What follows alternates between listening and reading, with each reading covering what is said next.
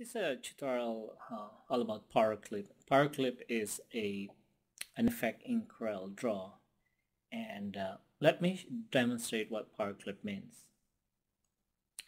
Okay, so if I have a photograph here and I want it to be inside a container, a shape or a text, here's what you do. Let's start with the shape. So you click on ellipse tool. Let's say I want to make a circle here and then put that photograph inside the circle. So I click on ellipse or F7 and then I, I make, uh, if you want to make a perfect circle, you hold on control and then click and drag. That will make a perfect circle. And then click on the photograph and you go to effects, power clip, place inside the container and the container is the circle. So you go to the edge of the circle and click. And there you go. So that's the concept of power clip. Now, since it has an outline, you can change the property of the outline by going to your outline pen property. And let's say I want to change it to four points and then change it to a different uh, outline color and then click OK. So now you have you have the the power clipped object now. Now the uh, there is one more option that you have to change in power clip because what happens is if I'm going to let's say I'm going to create a square here and I'm going to make a power clip of this particular area only so I'm going to click on the photograph I go to effects power clip place inside a container and my container is this square right and watch closely. If I click on it okay the girl there was off-centered okay? So what happens here is that in your options you go to tool options because the default option for power clip you go to workspace and then click on edit. The default is auto center new power clip contents is checked okay?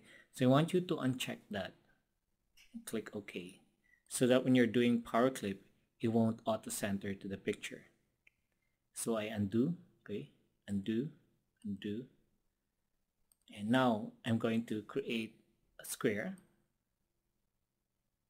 okay? And then just going to zoom in here. So I click on my photograph and I go to my effects power clip place inside a container and watch closely. It's not going to auto center anymore. So you click on the square. There you go. So it doesn't auto center anymore. So that's the first thing that you have to change in the power clip options.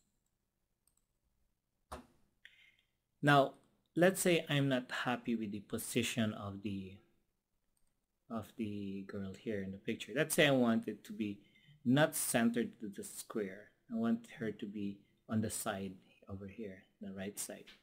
So you still can edit the power clipped object by clicking on the power clip uh, object. And you know it's power clip because in here in the status bar you can see power clip rectangle on layer 1. Okay, so it's a power clip object. Now you go to effects and go to power clip and then edit contents. So once you edit contents, you can see that you can move the the the picture you can not only move you can also enlarge whatever you want to do. And just make sure that this square here the blue square is the power clip object. So what I'm going to I'm going to move her to the right side and expose a little bit of sun. Now if you're done with the editing of your power clip go to finish edit object. And it's in here in the uh, lower left corner click and there you go. Now there's another shortcut key to go to the edit mode in power clip. Uh, hold on control hold down control and then click on the power clip object. Double click and you will see that you are in the editing mode of power clip. That's it for the power clip basic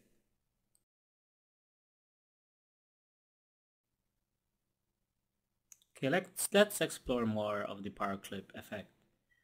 Uh, like right now I have three effects for power clip. The first one is, which you already know, is create a shape, basic shape, put it on top of the, the photograph and click on the photograph and go to effects, power clip, place inside the container and click on the container, which is that one.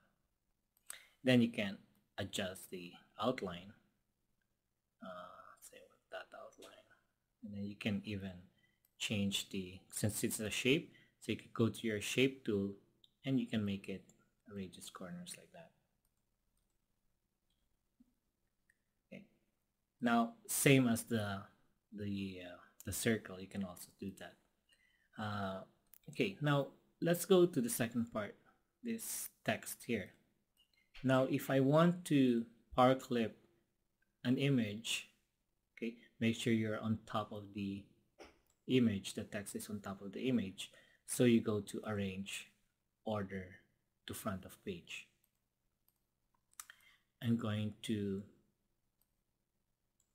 adjust it and then so I click on the image, go to effects, power clip, place inside of the container and the container is the text. Click on the text. So that's the second way. So we already have two kinds. First one, and the second one. And the third one is the shape. Okay. So what happens here is the shape. This is the final product here without the background. See if I put it here. Okay. It's it's a mask mask image already. But we use uh, we didn't use other software, but we just use Corel Draw by creating a shape.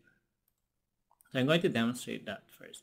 So if I have a source image here, and what I'm going to do is I'm going to uh, make a shape or a silhouette of the bird, and then I'll power clip it inside the, that shape. So first I'm going to make the shape.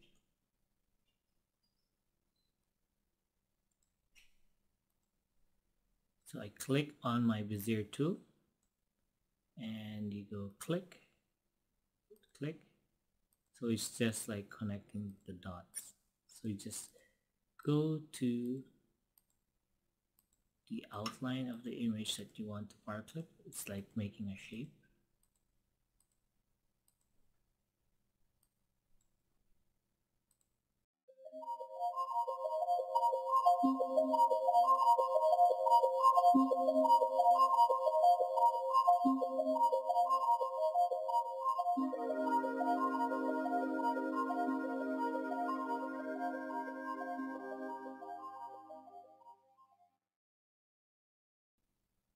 Okay, I already have the shape. I'm just going to move the shape here to the left. I've got the shape. Hit Control Z or undo. So what I'm going to do is I'm going to click on the photograph and then go to effects, power clip, place inside the container. The container is the shape that I just did.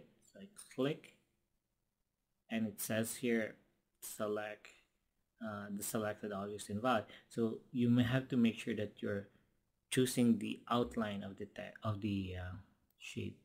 Click and there you go. Now, if you notice there's an outline, so what you can do, you can click on the power clip and then remove the outline. So that's another way to do the power clip using the shape. So we have three, one, three kinds. One, 2 and 3. Now of course you can always extract your power clip objects by choosing the power clip, let's say this one, and you go to effects, power clip, extract contents. And you're going to have two separate objects.